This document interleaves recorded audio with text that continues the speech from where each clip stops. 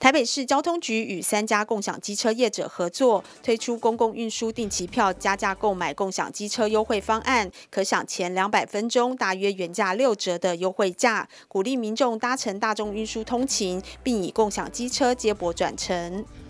那这份我们跟共享机车的是透过一个市府补助，然后共享机车业者帮民众呃负担部分的那个呃费用，然后以及民众自付的概念去推出这样子个优惠方案。那民众可以选购像 WeMo 跟 iRent 这这个这两家业者是今天就开始试卖的。那因为我们这个系统开发串接了非常多的业者，所以我们是透过今天试卖的方式，然后也鼓励民众多使用。如果民众在使用上有任何的意见，也麻烦回馈给我们，我们会立刻请业者来做一个修正改善。然后预计呃勾血是六月初会推出，那也请民众可以期待。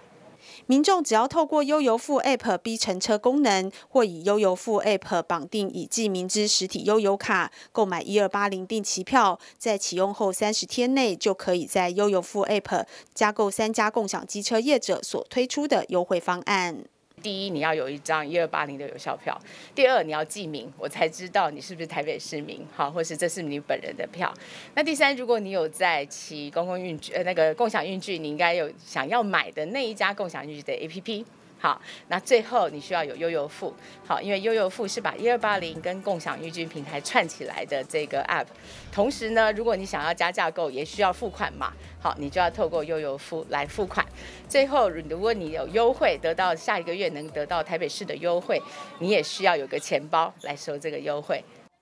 另外，为了鼓励台北市民使用，一百一十年度交通局额外提供五万人次的加码补助，只要是台北市民于加价购买优惠方案后的三十天内，无定期票及优惠方案退费记录，就可以享有每月一次两百元的补助。记者林希慧台北报道。